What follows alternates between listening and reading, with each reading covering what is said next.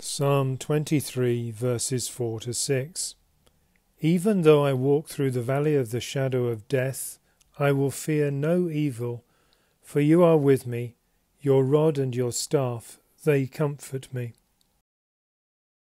Where can I go from your spirit? Where can I flee from your presence? If I go up to the heavens, you are there. If I make my bed in the depths, you are there. If I rise on the wings of the dawn, if I settle on the far side of the sea, even there your hand will guide me, your right hand will hold me fast. If I say, Surely the darkness will hide me, and the light become night around me, even the darkness will not be dark to you, the night will shine like the day, for darkness is as light to you. Multitudes who sleep in the dust of the earth will awake, some to everlasting life, others to shame and everlasting contempt.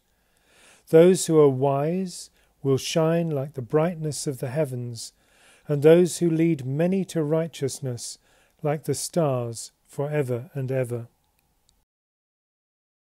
He has saved us and called us to a holy life not because of anything we have done, but because of his own purpose and grace.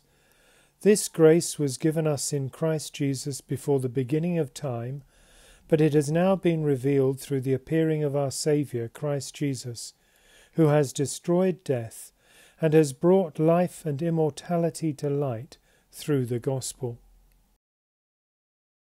Since the children have flesh and blood, he too shared in their humanity so that by his death he might break the power of him who holds the power of death, that is, the devil, and free those who all their lives were held in slavery by their fear of death.